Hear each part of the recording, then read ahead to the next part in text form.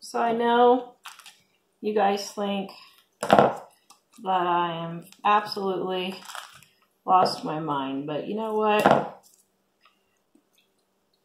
I just can't stand to see stuff like this go to waste. I don't know. I could put all of these on the table in a little basket and not do all this. But I was like, you know, let's just get rid of some clutter and refill the ketchup thing. Please subscribe and hit the bell notification so you can be notified when we put up new videos. Hello, I am Tara, the author of the Dining on a Dime cookbook where you can eat better, spend less. We have a new hardcover with full color pictures and over 1,200 recipes and tips to help you save money on your grocery bill. Check it out at livingonadime.com. Normally we just put these in lunches or for picnics or whatever. Why am I doing this? I don't know. I just hated to see it go to waste, so I thought I would go ahead and do it. Frankly, great grandmother, if she saw me doing this, would say, Tara, why are you wasting all that time putting ketchup packets in the ketchup?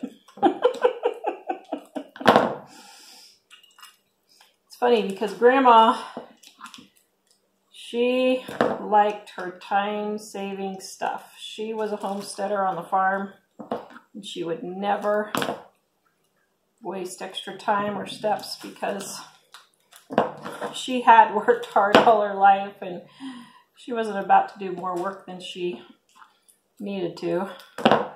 So anyway, really, this will probably take me like four minutes to do.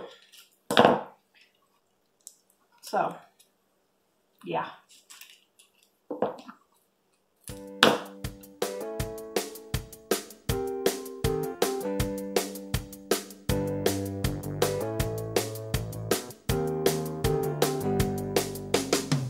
Guys.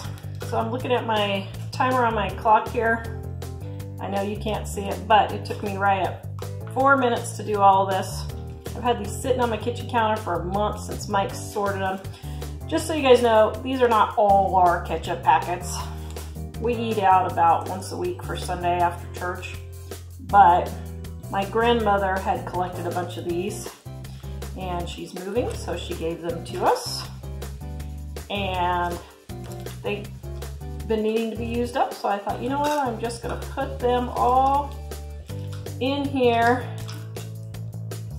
And this, oops, this ketchup had about this much in here when I started and look, it's all the way up here.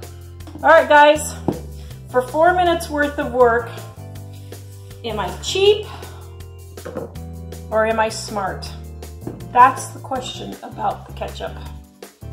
LivingOnADime.com.